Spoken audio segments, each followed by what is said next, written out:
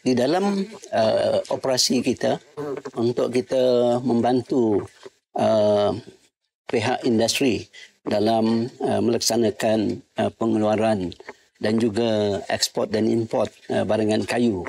Sebenarnya di peringkat STDC kita telah merancang uh, bagaimana kita dapat menggunakan uh, teknologi digital di dalam operasi harian kita.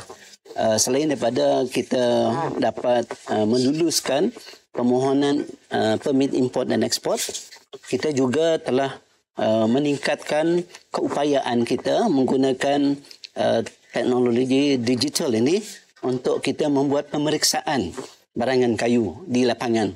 Dan ini uh, telah mempercepatkan proses untuk kita uh, membuat verifikasi uh, bahan mentah ataupun uh, produk yang akan kita keluarkan uh, ke luar negara. Dan ini telah kita laksanakan.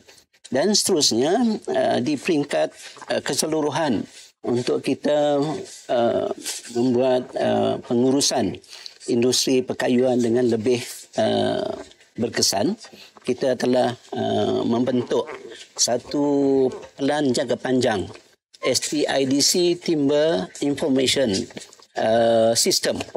Yang ini uh, kita uh, mencadangkan untuk membuat sistem uh, digital secara bersepadu uh, di peringkat STIDC di mana uh, pada peringkat akhirnya kelak kita akan membuat uh, sistem ini uh, dapat berkomunikasi dengan sistem-sistem yang ada di dalam agensi lain khususnya sistem yang yang digunakan pakai oleh pihak Jabatan Hutan dan juga oleh anak syarikat kita yang membuat pemantauan pergerakan bahan mentah uh, di lapangan iaitu uh, Hawut Timbers dan Berhad dan kita juga uh, membuat uh, link uh, sistem ini kepada Jabatan Custom uh, di Raja untuk tujuan uh, import dan ekspor.